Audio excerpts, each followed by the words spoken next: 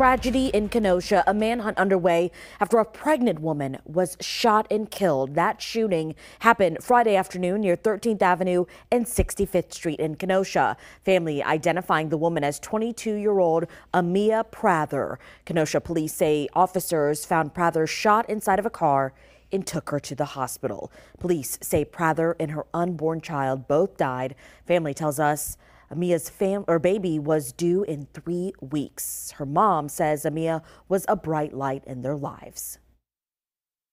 My baby was one of a kind. She had the biggest heart ever. She loved her children. She loved the Lord, and she just she just loved life.